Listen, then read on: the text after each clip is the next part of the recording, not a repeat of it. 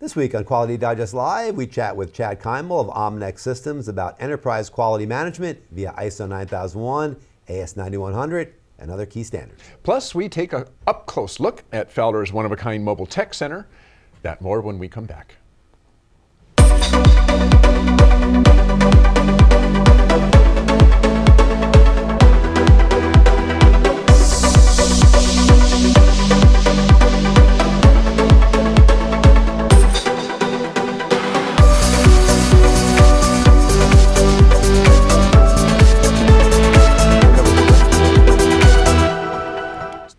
And here we go.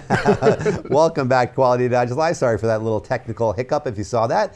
This is QDL for April 7th, 2017. And of course, QDL is your weekly look at who and what is making the news in the world of quality.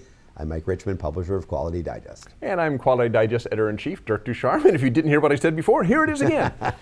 um, a lot of you have multi site companies, you know, multiple, multiple locations for your company. And so, as you know, implementing QMS standards, sometimes multiple QMS standards, can be a pretty daunting task. Uh, due to the aggressive time frames for implementing standards, which in many industries can be 12 to 18 months, organizations in multi-site environments are shying away from implementing an integrated management system and instead are looking at using enterprise quality as a first step toward an integrated system. And here again, to tell us what that means is Chad Kymal, CTO and founder of Omnex Incorporated. Hi, Chad. Hey, hi, Dirk. All right. Hi, well, guys. Well, we're back. all right. Uh, first of all, uh, why don't you just explain to us the difference between an enterprise quality and an integrated management system? Absolutely. So let me start off by just saying that you know timelines are very short, especially for those of you know folks that are doing AS 9100 and or you know IATF 16949. Deadlines are between a year to 15 months. So you know, Omnex, you know, we, we've come up with a, about 10 different strategies for implementing quality right. One of that, of course, is integrated management systems. But as we work with companies, and we're working with global companies, multi site companies, many of them are electing not to go integrated management systems.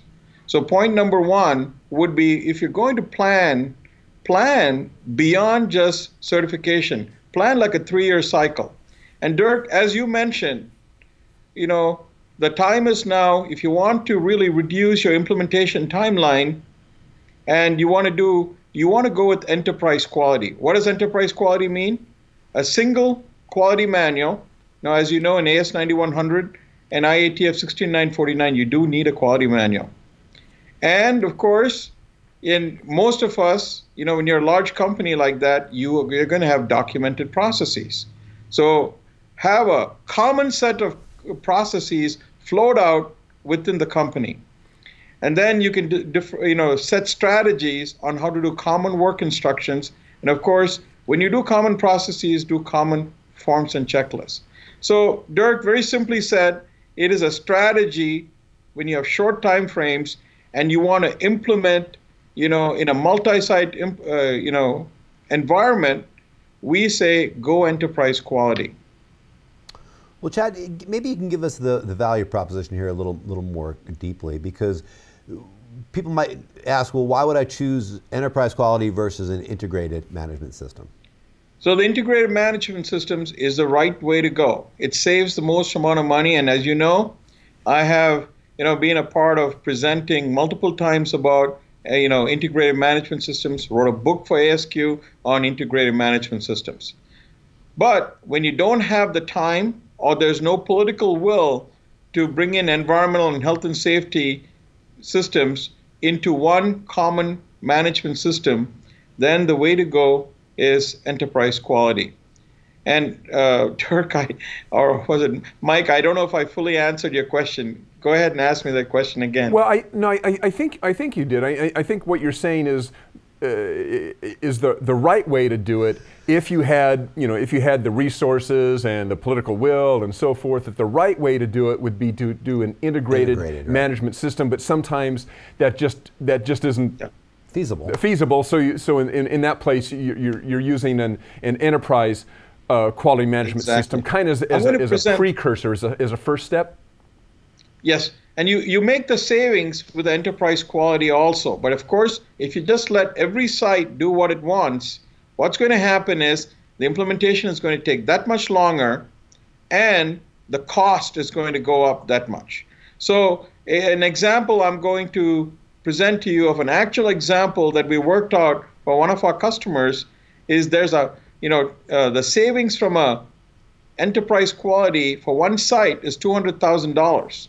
The maintenance cost being the biggest cost savings, okay? And it's about 330 or something like that for the integrated management system. So integrated management systems are good, it saves money, but enterprise quality also saves money and it behooves us and it cuts short our implementation time. So we should do in at least enterprise quality as a first step on our way to integrated management systems. So- And is there much duplication of effort? I mean, if you, if you do, if you do the the enterprise quality management system, and then later you're going to go do an integrated, is there are you going to be doing a lot of stuff over again, or just a little bit of stuff over again? there will be a if you didn't do it at all and you went there there's a lot of work to do but if you do enterprise quality and then you do integrated management systems and most importantly dirk you know what we are recommending is enterprise quality software that can be used to become integrated management systems. If you take that approach and then you also will talk to you a little bit about how to do common work instructions. Again the you know web-based software with a number of processes. So you can see from my article i think i talk about about 15 to 19 different web enabled processes this will save significant amounts of money. I, I really, when I said about 200,000 and 300,000, I didn't actually bring in all the savings. I'll try to present that next week, Tuesday, when I roll in the savings of, um, you know, if you have, if you're doing FMEAs and control plans, and you're bringing on new products using these, which is the way to go for parts per million defect reduction, then really, you know, enterprise quality software is you really need that as a first step, and then you can upgrade in the software to integrated management systems also. The same software can be used for that, and then of course you need to have the methodology to integrate. Well, Chad, you, you alluded to it. We're, we're doing a webinar on this topic, as you mentioned, uh, this coming Tuesday on, on April 11th at, at 2 p.m. Eastern Time, 11 a.m. Pacific. The title of the webinar is Enterprise Quality Management, ISO 9001, AS 9100, ISO 13485, or IATF 16949. Implementations made easy. And Chad's going to present, Dirk's going to host.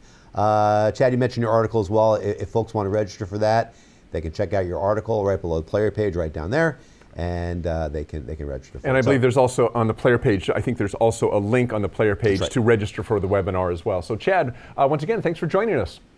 Thank you, guys. Always a pleasure. We'll Okay. see you on Tuesday. See you in China. Yes. Thanks, Chad. All right.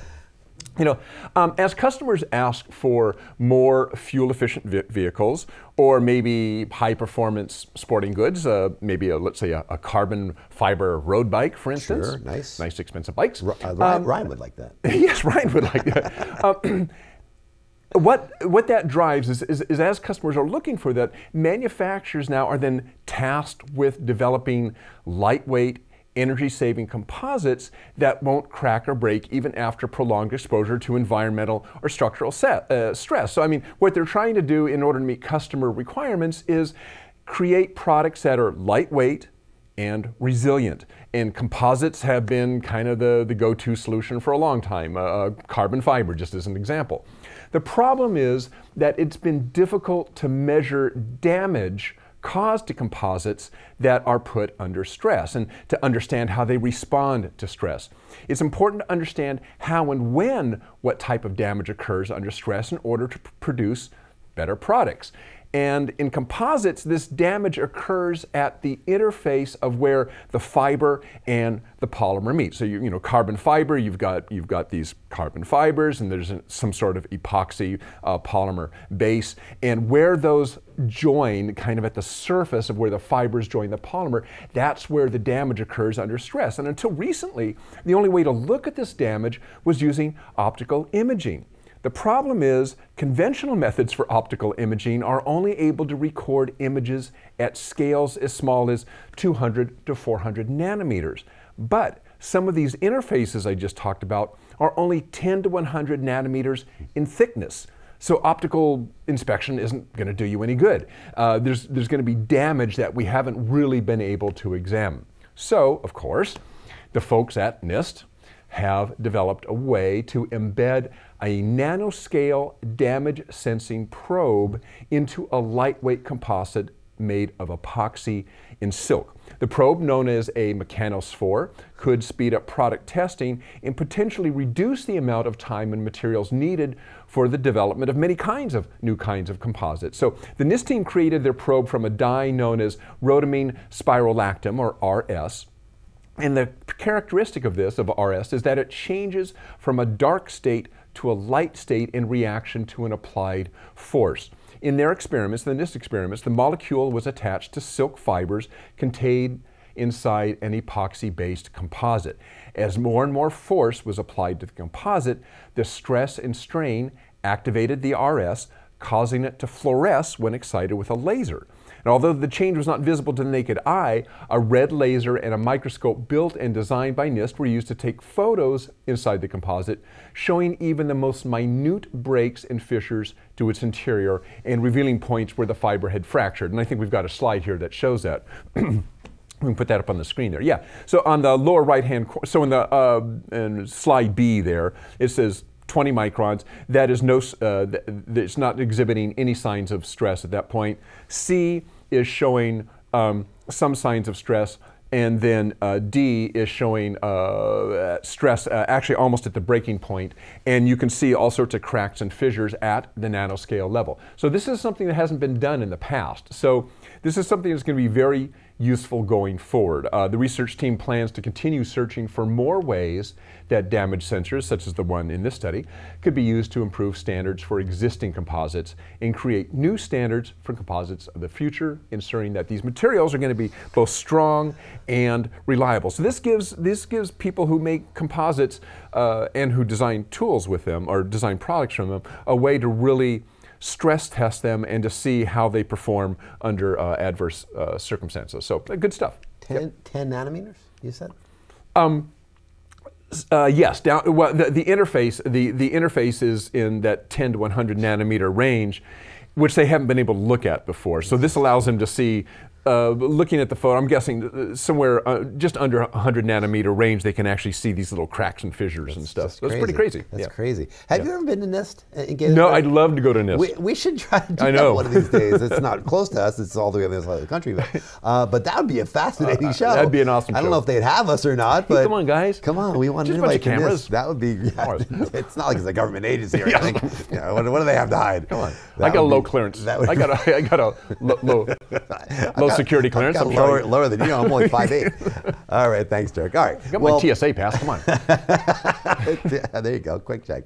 Or fast, fast pass. Fast or check, what it is, yeah. All right, thank you, Dirk. All right, well, infrastructure, another important topic that's been uh, getting a lot of attention lately. And uh, last month, the American Society of Civil Engineers released their grade for the state of the infrastructure in the United States. And the survey says D plus. Ouch.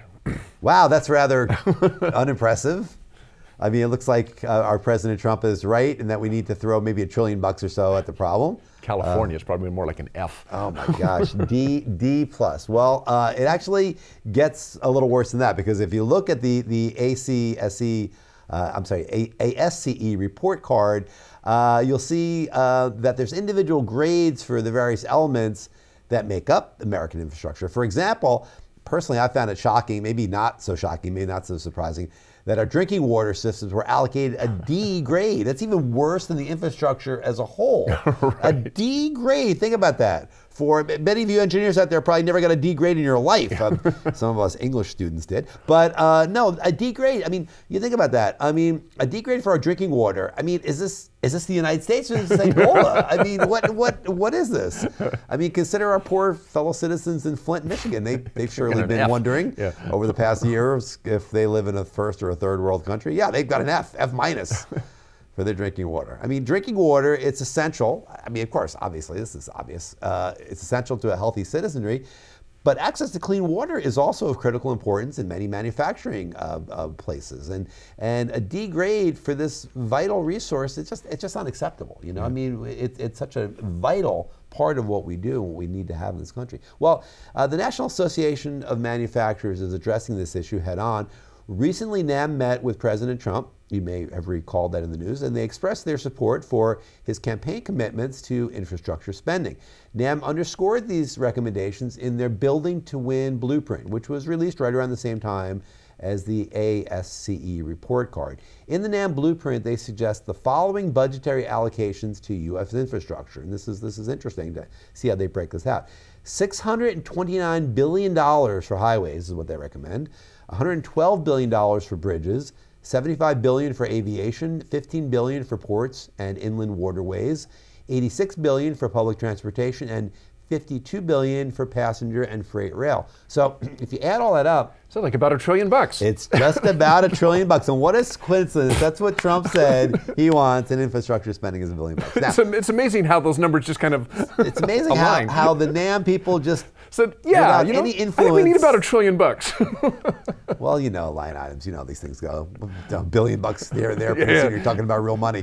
Well, some would ask if all that is necessary or if we can even really afford it as a nation, but that trillion dollar investment would really only bring us partially back to the levels of infrastructure investment in the past. NAM's Building to Win blueprint, uh, again, offers us the following chart. I want to show this to you because I think it's really interesting. And it shows the public and private investment in infrastructure since 1970. And the chart's right there. As you can see, the light blue shaded area represents private capital investments, and the dark blue shaded area represents public capital investments. And both are down significantly uh, from again this is this is 1970 to, to 2012 and you can see it's down significantly over that period of time as, as a percentage of, of potential gdp uh, the moral of the story is that funds are very much needed. And according to nam those needed funds uh, are going to greatly benefit industry not to mention people.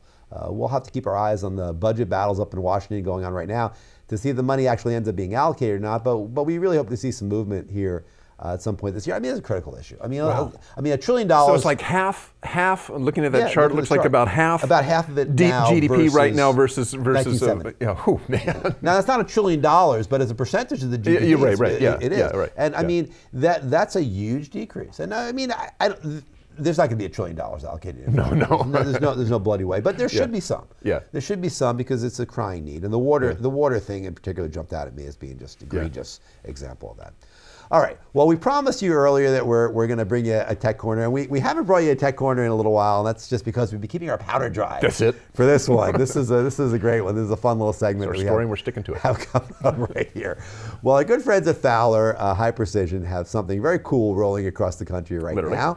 Literally. Um, their mobile tech center, uh, actually, they've got three of them, I think, in the U.S. And, and if you haven't seen one of these babies, they're pretty cool. They, they were, one of them was at Fowler's booth at IMTS Right. Last September. You remember we walked Yep. through, uh, many of you probably did as well. Uh, Fowler's mobile tech centers are basically tricked out RVs. They're tricked out with high precision uh, measurement equipment on them, and they can roll up to a facility and provide uh, extremely high accuracy measurement of your work pieces pretty much right on the spot. Pretty cool thing. So, John Philippides of Fowler brought their West Coast Mobile Tech Center to us here in Northern California yesterday, and he and Dirk ran through some of the equipment that's on it. So, let's take a look right now. Yeah, uh, Mike, right now we're standing outside of our studio uh, and we're at the Fowler Mobile Tech Center. And with me right now is John Philippides. And John, this is basically a van that what goes across uh, different territories and shows off your stuff? Basically, this is the uh, Fowler Mobile Tech Center. It's designed to go directly to the end user and show off some of our more automated, harder to get around equipment. Um, the RV is the size of it is, so it can fit all of your automated systems, height gauges, bore gauges, um, just a plethora of different items. um, that the customers get to just kind of have on the bus. And you, you got three of these, I understand. One for each of your sales regions, is that right? Yep. So this is the western one. We have one in the central region and also in the eastern region as well. Okay, well, great. Well, let's t- go inside and take us a look and uh, show us what you got there. Okay, John, what, what's the first thing that we're going to take a look here inside your uh, your mobile lab? So this is the Bowers line of bore gauging. It's the premier uh, bore gauging manufacturer in the world. Um, essentially, we have you know a couple different ways to measure bore gauging. It goes from a couple thousandths of an inch all the way up to 15 feet, um, depending on the uh, instrument you're using. The line that we're going to be specifically looking at is the XT3, which uh, ranges from 80 thousandths to 12 inch.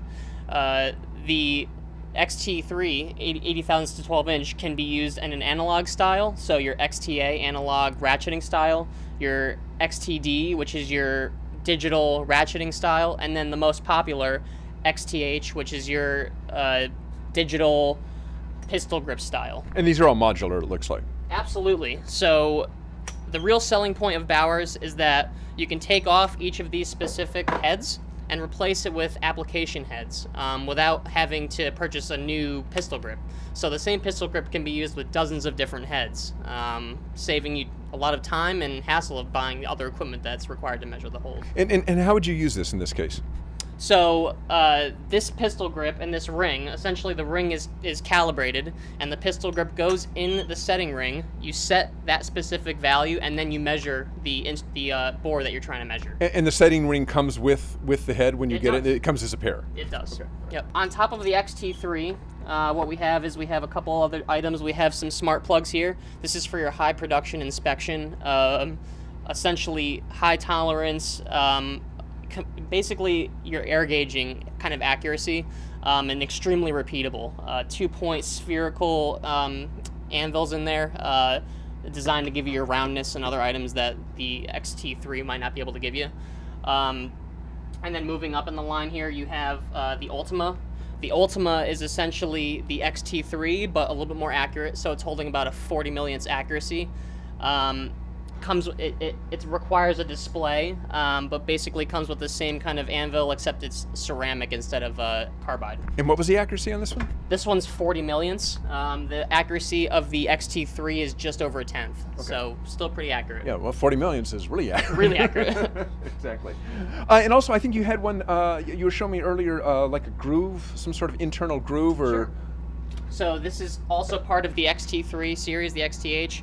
Um, it's a standard pistol grip, the same pistol grip that I was using previously, except this one has a groove head on it. So if you have a difficult time measuring internal grooves, you essentially go in, you set the ring on the master, and then you measure your specific groove that you're trying to, to quantify. Um, so there's not really any easy way to do this currently. This would be um, one of the best ways to do it and one of the easiest and most repeatable ways of doing it. Okay. Well, um, as as we make our way down to van to, uh, you're going to show us, uh, I think, uh, the Sylvac at the end. But why don't you take a, uh, tell us a little bit about what else is in here as we're walking walking Sure. through here. So this is uh, uh, the Trimos Lab Concept Premium. It's designed uh, to calibrate and certify all of your hard gauging. So that's your pin gauging, your plug, your plugs, your thread plugs, your rings, your thread rings, calipers, micrometers, indicators. Essentially anything that you guys have for hard gauging it that needs certification and calibration, this guy can do. Um, you can see how accurate it is. It's dancing just over, a, you know, just a couple millionths right now on a vibrating bus. Right, right. So, um, And then uh, op- an optical, uh, 3D optical gauge here. Sure. or- So this is uh this is our Baty system. It's uh, owned by the Bowers Group. So the same company that does the bore gauging also does the vision.